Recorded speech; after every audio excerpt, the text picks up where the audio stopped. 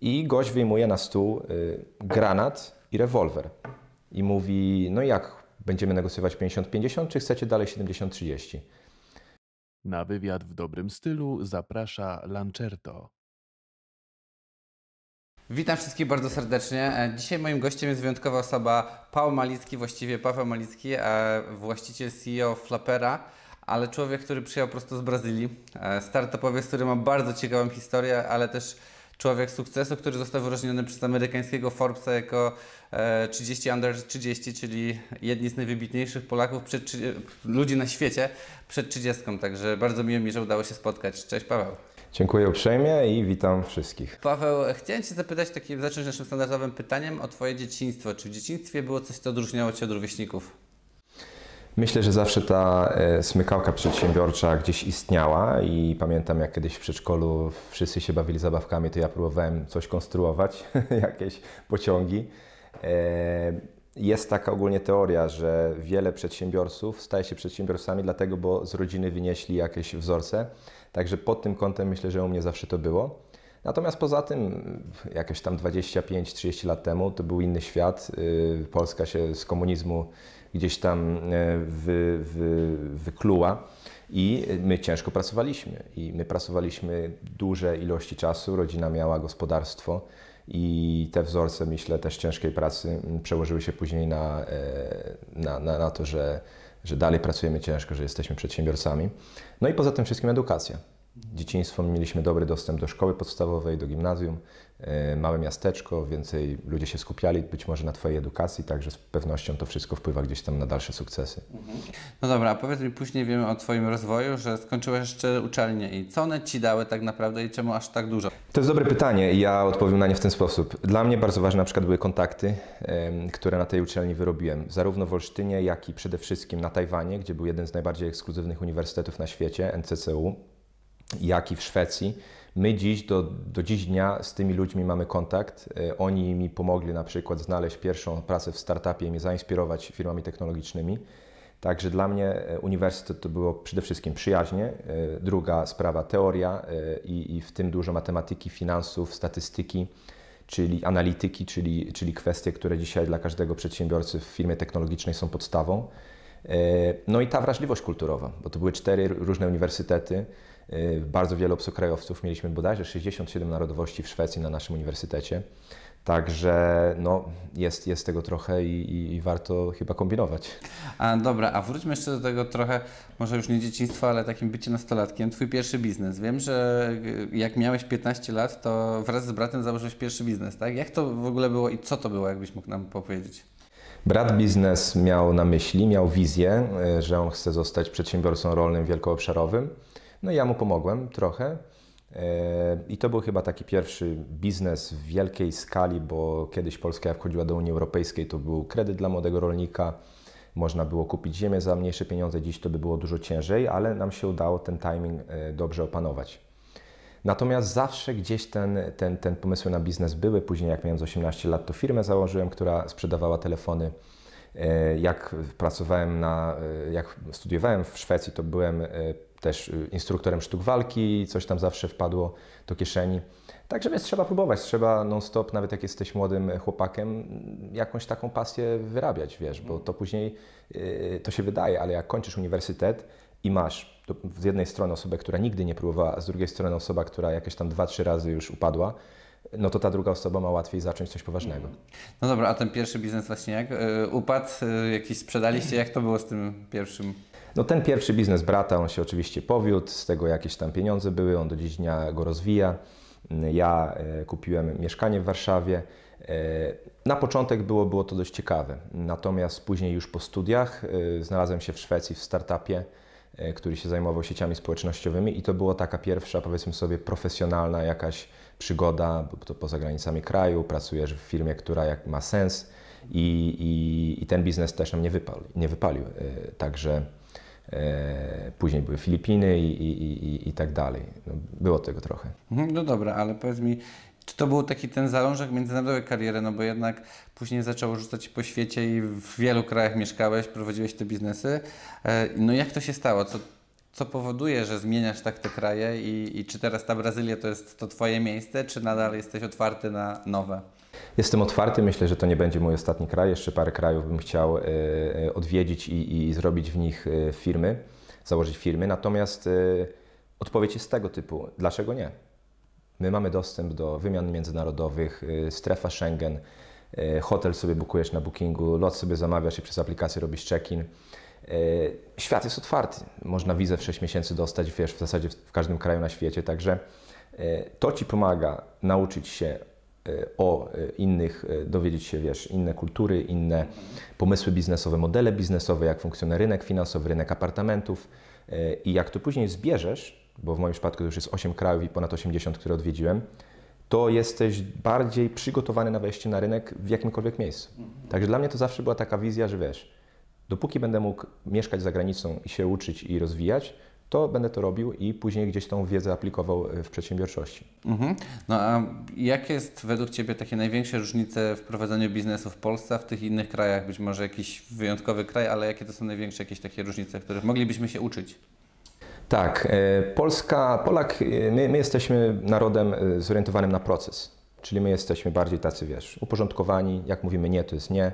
Jeżeli jesteś w kraju, przykłady krajów, w których mieszkałem, Filipiny, Kolumbia, Brazylia, to jest kraj skupiony na relacjach międzyludzkich. Proces jest tam gdzieś daleko, wiesz, to jest taka zagmatwana trochę, powiedzmy sobie, taki ekosystem przedsiębiorczości.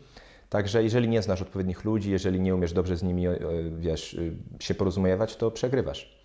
Są kwestie bezpieczeństwa. Pamiętam kiedyś na Filipinach e, poszliśmy na, na spotkanie z szefem, jak mieliśmy Easy Taxi, e, korporacji taksówkarskiej i gość wyjmuje na stół granat i rewolwer i mówi, no jak, będziemy negocjować 50-50, czy chcecie dalej 70-30? No, no to chyba przystaniemy na te 50-50. Także są tego typu też y, kwestie, że rzeczywiście, jeżeli szukasz problemów w krajach rozwijających się, to jest je łatwiej znaleźć niż w takiej Polsce.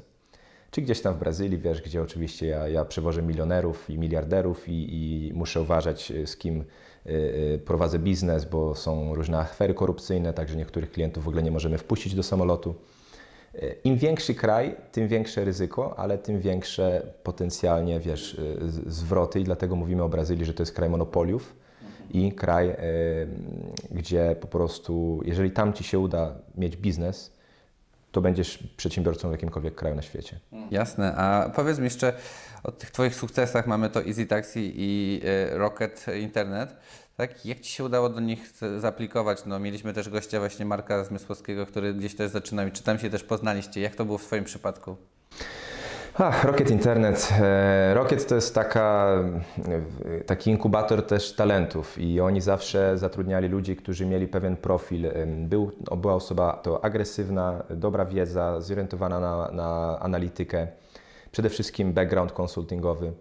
I, I, to było fajne, bo przez trzy lata naprawdę się sporo uczyliśmy. Oni się od nas uczyli, ale my od nich też. Takie myślenie właśnie, wiesz, procesowe, jak się wchodzi na inne kraje, bo my weszliśmy w przeciągu dwóch lat na 35 rynków. Znajdź drugą firmę i to nie jest takie wejście, że wiesz, krok po kroku, tylko w tym samym momencie technologia, ludzie, jednostki prawne, wszystko musisz to założyć, musisz się nauczyć marketingu. Także Rocket było, było, była to ciekawa szkoła, mm, jeśli chodzi o przedsiębiorczość, natomiast ja się tam dostałem z tego względu, że po prostu mój znajomy, który był y, na, na tamten czas Easy Taxi, chciał wejść na rynek azjatycki. I ja mu po prostu pomogłem, bo on był, w był jak gdyby takim dedykowanym y, y, International Expansion Manager, jak to się nazywa, znaleźć odpowiednich ludzi do pracy. I ciężko jest znaleźć ludzi do pracy w krajach rozwijających się. W Polsce jest dużo talentów. Krajach rozwijających nie ma tego talentu. Musisz zawsze robić ten micromanagement. I ludzie to doceniali, bo widzieli, że ja w przeciągu trzech miesięcy mogę im znaleźć, mogę w zasadzie kadrę taką przygotować całą na, na, na wejście na rynek. I zostało mi zaproponowane na początku country manager, a po dwóch miesiącach e, CMO Glob na, na skalę światową. Słyszałem, że jak wprowadziłeś sukcesem na rynek azjatycki, dostałeś nagle 36 krajów kierownictwa, tak? I ktoś tu chciałem zapytać, ten dwupłaszczyznowy model jako CMO, bo wiem, że to jest coś, co takiego zadziałało w Twoim przypadku. Co to jest, jakbyś mógł naszym widzom opowiedzieć? Chief e, Marketing Officer, czyli dyrektor marketingu na jak gdyby albo cały kraj, albo wszystkie rynki. E, różnica jest tego typu, że my byliśmy aplikacją i na tamte czasy nie było żadnych informacji odnośnie aplikacji. Y, I dlatego też napisałem później książkę po tych trzech latach Chief Mobile Officer, czyli te M zmieniłem, dlatego, bo w tym momencie, jeżeli jesteś marketerem, to musisz się znać dobrze na, na mobile, bo smartfony dominują świat. No i rzeczywiście to są dwie płaszczyzny. Z jednej strony jesteś ekspertem do spraw marketingu, a ja się tego bardzo dobrze nauczyłem w Szwecji na Filipinach, jak mieliśmy agencję marketingową, a z drugiej strony jesteś menadżerem, bo masz 35-6 krajów, w każdym masz zarządzającego y, jakiegoś i, i, i marketing manager i tak dalej.